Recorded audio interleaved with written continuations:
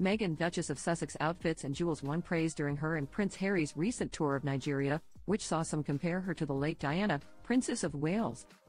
Prince William is reportedly upset by these remarks and feels there are no worthy similarities to be raved about.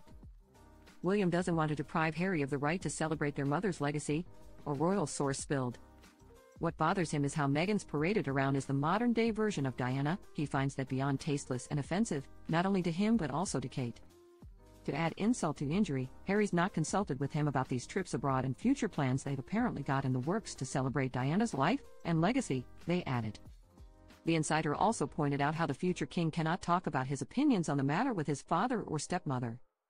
The fact that the tension with the Sussexes is now impacting celebrating their mother's legacy is beyond the pale for William, but it's not as though he can really speak about it with Charles and Camilla, because there's obviously history there with Diana being estranged from the royals, so he's feeling pretty alone on this.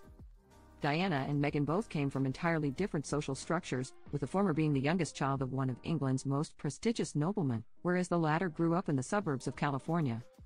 But both came from broken homes, which one royal analyst pointed out a running theme behind Harry and Meghan's obsession with Diana in their narrative.